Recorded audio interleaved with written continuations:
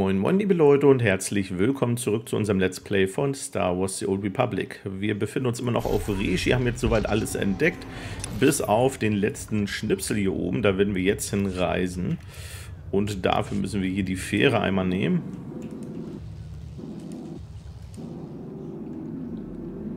Und dort sollen wir mit Aran Kau sprechen. Wir sollen die Revanita enthüllen. Gucken wir mal.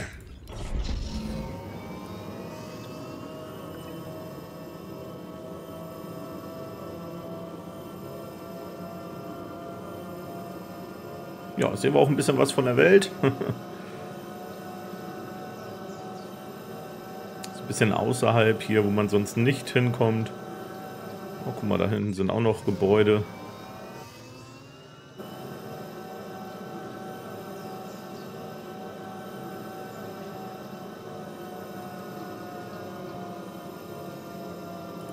Ja, ich habe hier wieder Anmeldebelohnungen geöffnet.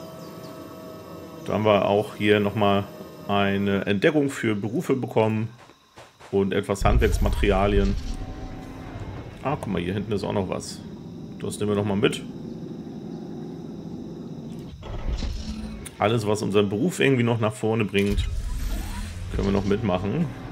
Da liegen wir jetzt schon bei 500 Archäologie. Ich denke, das ist ganz gut.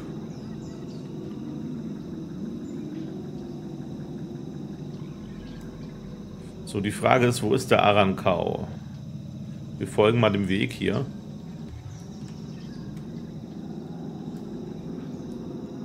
Gehen die Gegner.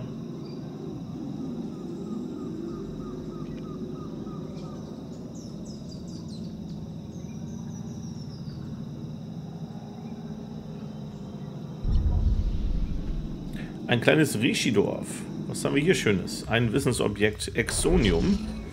Das ist wohl eine Art Gestein oder Erz. Sehr schön. Und da oben in der Hütte müsste Arankau zu finden sein. Nee, gar nicht wahr. Hier vor.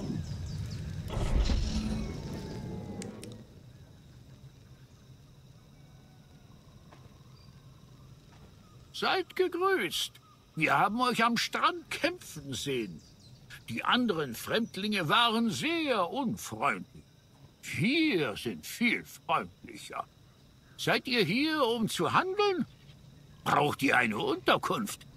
Fremdlinge sind bei uns stets willkommen. Das ist sehr freundlich von euch. Danke für den herzlichen Empfang. Ich bin überrascht, dass ihr Fremden gegenüber so offen seid. Wir lieben fremde Besucher. Ihr habt so viele interessante Dinge zu erzählen.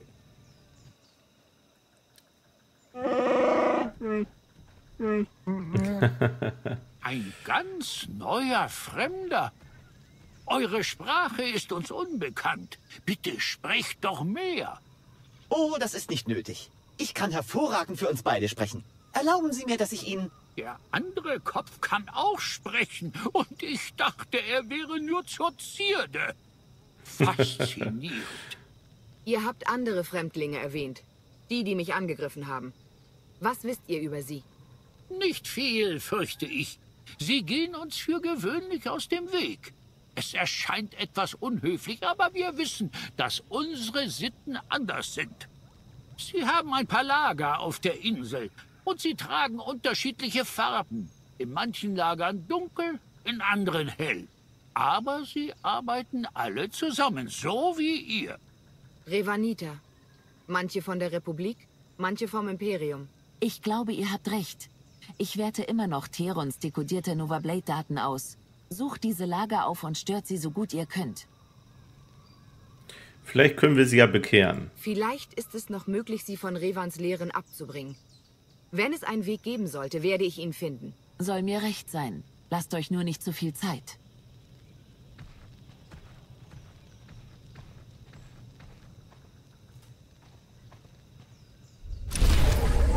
Ja, wunderbar. Wieder ein paar Rufpunkte. Ein paar Armschienen, die wir verkaufen werden. Und hier haben wir noch eine Mission. Wir sind nicht hier, um zu kämpfen. Wir nehmen nur Mineralienmessungen vor. Prospektoren suchen auf Rishi nach wertvollen Exonium-Vorkommen, aber die Gefahren der Wildnis auf der Himmelsgradinsel verhindern, dass sie dort Nachforschungen anstellen können. Scanne örtliche Erzvorkommen nach Exonium-Spuren. Drei an der Zahl. Okay, und wir haben ein paar Season-Punkte gerade bekommen. Da möchte ich dann auch nochmal gerne reinschauen, ob wir da eine neue Belohnung haben. Äh, nee, aber wir starten hier von neu auf. Also es gibt wieder eine neue Season. Und mal sehen, was haben wir denn da so Schönes. Ein paar Token. Ja, und so ein paar imperiale Kleidungsstücke des Lieutenants. Mal gucken, wie das aussieht hier. Ja. So, das ist der Oberkörper hier.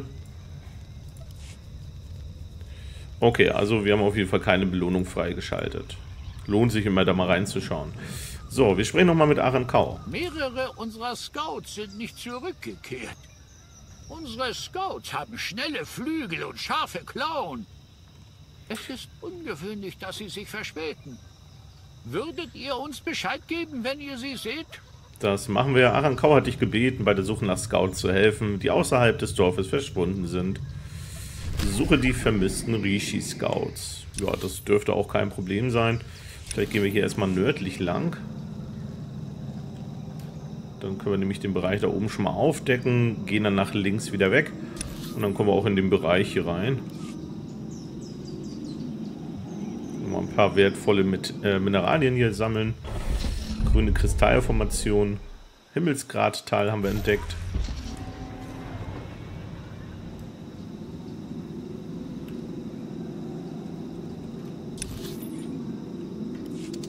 Ja, da sind wir auf dem richtigen Weg.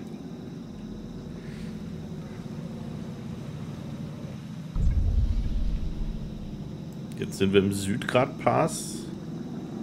Und da startet auch schon die erste Mission hier vorne. Können wir da machen? Ähm, unterbrochene Jagd. Das sind die Scouts, die Vermissten, die wir finden sollen. Da haben wir ein bisschen Schrott. Das ist aber nicht unser Beruf. Wir haben Archäologie, deswegen sammeln wir hier die Kristalle ein. Bei 504 sind wir schon. Ah ja, guck mal, hier ist schon der erste. Mal so ein bisschen gucken. Sind ein bisschen im Gras versteckt. Da oben ist noch einer.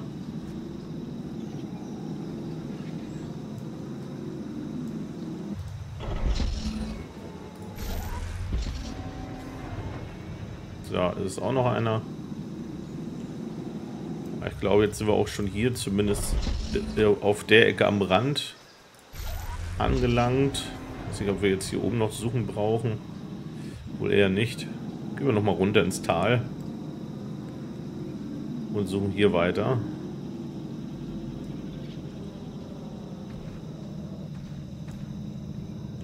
Ja, also die vermissten Scouts sind auf jeden Fall nicht mehr am Leben. So viel steht fest.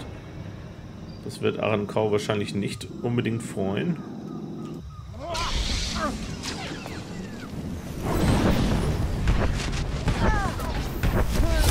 Ich bin stärker als ich dachte.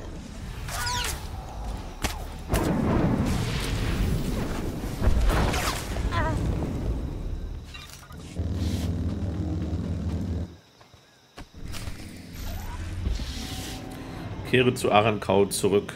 Machen wir natürlich noch nicht. Wir machen die anderen Missionen auch noch fertig. Und dann geben wir alles am Ende gesammelt ab. Na, auch eine schöne Region hier. Ne, sehr dschungellastig.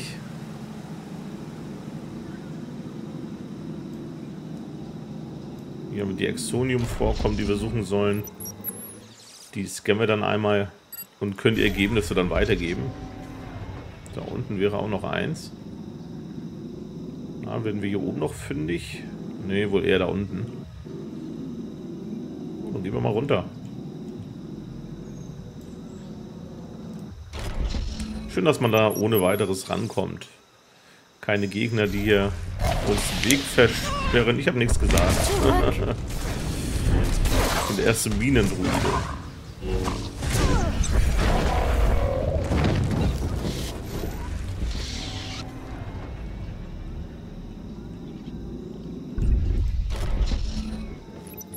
Das nördliche Revanita-Lager befindet sich hier. Bin bei euch.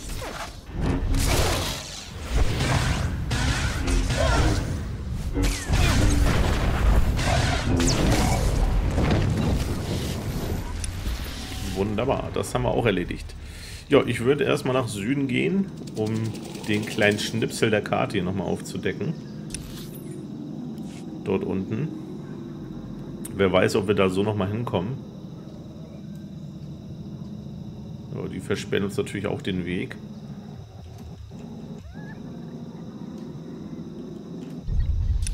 So, das wäre das südliche, also die sind hier direkt nebeneinander. Südlich-nördliches Revanita-Lager. Aber wir wollen ins nördliche, oder in den nördlichen Teil vielmehr. Na, hier gibt es doch mit Sicherheit eine Bonusmission.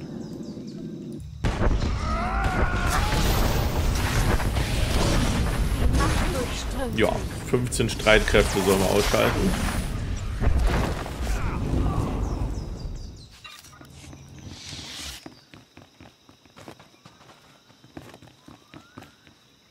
Hm, dir fehlt der Kopf. Irgendwo ist einfach alles schiefgegangen. Verdammt.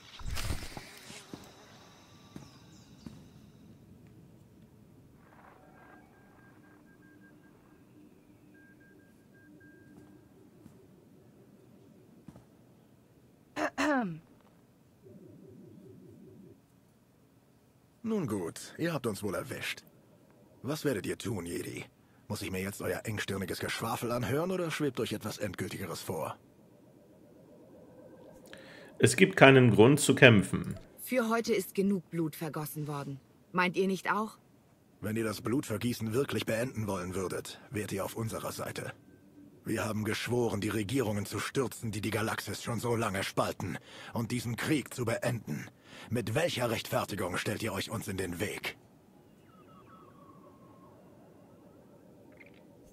Wie könnt ihr Verrat denn rechtfertigen? Euer Verrat an der Republik hat Tausende von Leben gekostet. Alles nur, um den Worten eines einzelnen Wahnsinnigen zu folgen. Revan durchschaut die Lügen. Er weiß, wie die Galaxis zu retten ist. Vor was retten? Dem Krieg? Revan führt schon seit Jahrhunderten Krieg. Er ist besessen davon. Der Mann, dem ihr folgt, hat vielleicht versprochen, uns alle zu retten. Aber dabei ist ihm jede Manipulation und jedes Opfer recht. Was ist, wenn am Ende niemand mehr übrig ist, um gerettet zu werden? Ich, ich weiß nicht. Was wollt ihr von mir? Hä? Warum erzählt ihr mir das alles? Ich will euch helfen, die Wahrheit zu sehen. Ich glaube, ihr wollt das Richtige tun. Wenn ihr zur Republik zurückkehrt, ist es dafür noch nicht zu spät. Meint ihr das ernst? Einfach so? Nach allem, was passiert ist? Wieso nicht?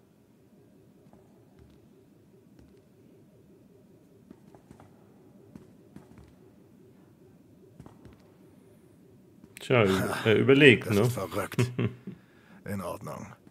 Ich kann zwar nicht für alle sprechen, aber ich gebe der Republik eine letzte Chance. Wir folgen euch, Captain. Ähm, danke.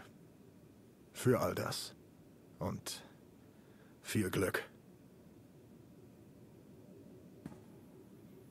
Ja, das Ganze verläuft hier kampflos. Sehr schön. Ja, mit Diplomatie und den richtigen Worten kommt man hier weiter. Betritt den südlichen Bunker. Okay. So, da oben war nichts mehr. Nochmal nachgeschaut. Äh, wie kommen wir denn hier raus eigentlich? Oh, doch. Irgendwo da oben.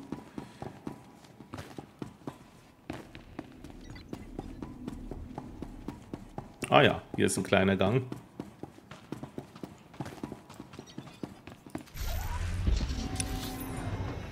So, der südliche Bunker ist dort und hier haben wir nochmal eine Mission von Sergeant Saya. Madam? Ohne Gesicht. Sergeant Idrino Saya. Ich gehöre nicht zum Feind. Nicht mehr. Ihr müsst wissen, wer hier alles involviert ist. Die Revaniter nehmen jeden. Sogar die schlimmsten Schlechter des Imperiums. Colonel Raigos Mol, der Mann, der New Dress Storm niedergebrannt hat, ist hier. Ich würde ihn selbst erledigen, wenn ich nahe genug rankommen könnte. Was immer ihr braucht, um diese Leute aufzuhalten, ihr könnt auf mich zählen. Hm, schade, wir haben jetzt die Bonusmission gar nicht abschließen können. Ich hätte gedacht, wir haben danach noch Zeit, aber ja, dem ist nicht so. Gut, äh, nächste Mission hier. Sergeant Sayer hat dich um Hilfe gebeten, da die Revanita Kriegsverbrecher wie Colonel Raigos Moll rekrutieren, ist sie überzeugt, dass sie sich unbedingt wieder der Republik anschließen muss. Aber zuerst will sie dafür sorgen, dass Moll ausgeschaltet wird. Finde Colonel Moll im, Imperium, im imperialen Teil des Revanita-Lagers. So,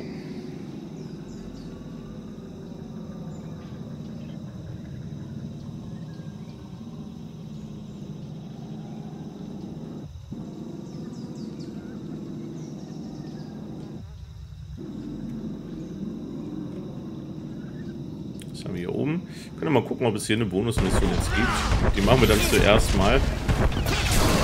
Ja, gibt wieder eine.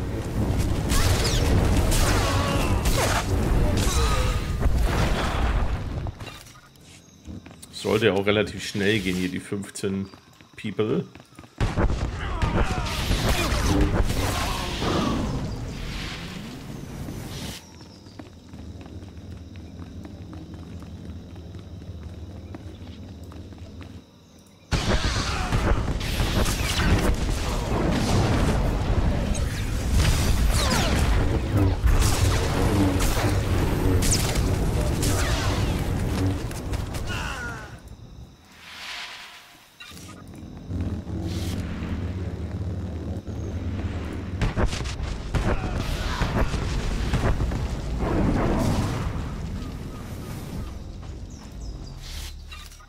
Drei noch.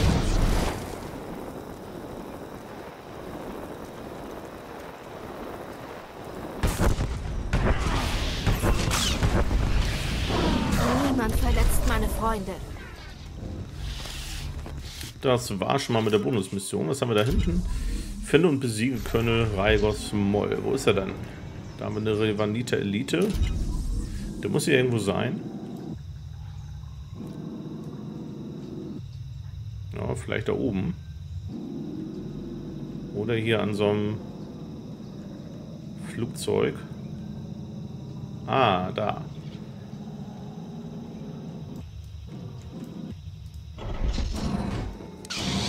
Bist du da? Hallo? Okay, der hat gar keinen Namen. Hoffen wir mal, dass das der richtige ist.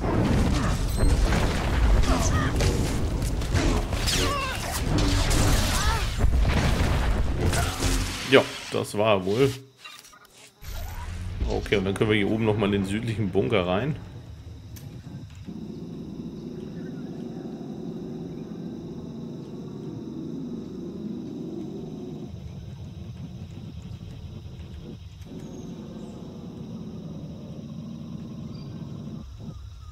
Da steht auch schon wieder jemand. Ah, verdammt. Bisschen versprungen wir da noch hoch? Jo. Lieutenant Balko steht hier auch noch parat. Der hat vielleicht gleich eine Mission für uns. Gucken wir mal. Die werden wir wohl nicht bekehren können. Hm. Bei den ganzen Sicherheitsalarmen hatte ich mit mehr gerechnet. Bringen wir es hinter uns, Jedi bevor noch mehr Zeit durch eure sinnlosen Störungen verschwendet wird. Hm, wir müssen nicht kämpfen. Es wurde schon genug Blut im Namen Revans vergossen. Wir können es beenden, wenn wir zusammenarbeiten. Ich fürchte, daran bin ich nicht interessiert. Okay. Ein Versuch war es wert. Oh. Das kam unerwartet.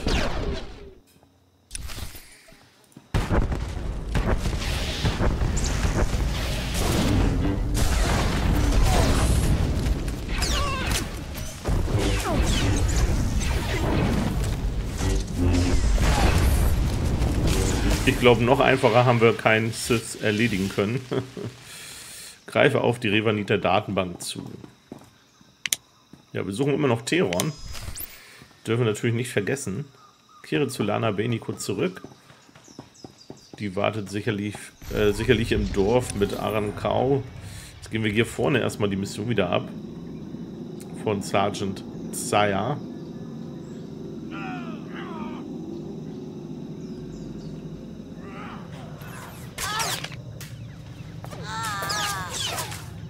Kommen wir da noch weg?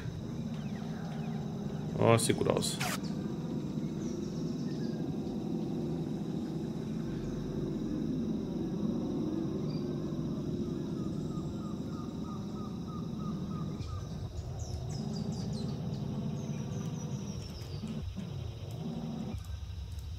Ich habe es gehört. Colonel Mohl ist tot. Ein Kriegsverbrecher weniger. Die Galaxis wird ihn nicht vermissen. Die Revaniter sind das Böse. Tut, was ihr tun müsst. Ich halte sie euch vom Leib. Ganz recht. Ja, wir wollen zurück ins Rishi-Dorf. Dann nutzen wir mal die Schnellreise, um von hier aus jetzt wegzukommen. Oder Moment. Ähm, wir gehen hier nochmal kurz nach Norden. Versuchen den kleinen Teil hier nochmal aufzudecken, der uns da entgehen würde. Ich glaube nämlich, dass wir hier soweit fertig wären. Das war nur eine Frage der Zeit, dass wir mal abgeworfen werden. Wohin geht es?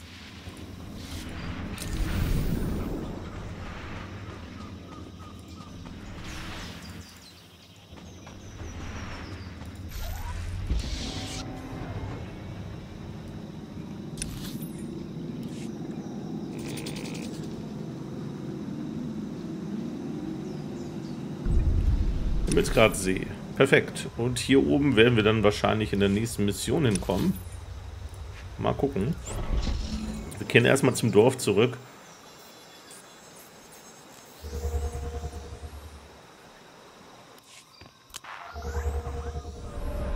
Ja, und die Mission geben wir dann in der nächsten Folge ab, würde ich sagen. Würde mich freuen, wenn ihr dann wieder einschaltet. Ich bedanke mich recht herzlich fürs Zuschauen. Bis zum nächsten Mal.